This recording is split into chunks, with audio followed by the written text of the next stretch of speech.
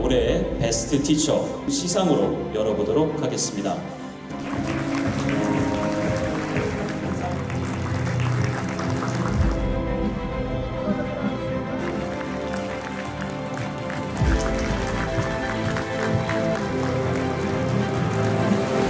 한번 부탁드리겠습니다. 축하드리고 수고하셨고 감사합니다. 한 학기를 지나면서 희망을 더 많이 보았습니다.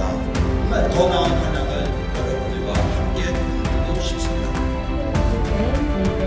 교수님들의 인스피레이션, 천리고 고민을 하고 있습니다.